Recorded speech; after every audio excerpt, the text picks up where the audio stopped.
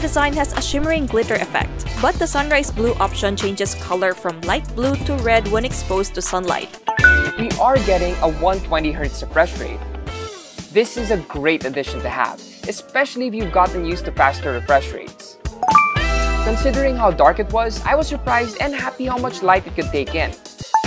Despite being out all day until near daybreak, I never had to charge the 5000 mAh battery even once. You're also getting reliable internals, 5G connectivity, and based on my experience, a long-lasting battery to boot. So I'd say it's definitely one to look out for.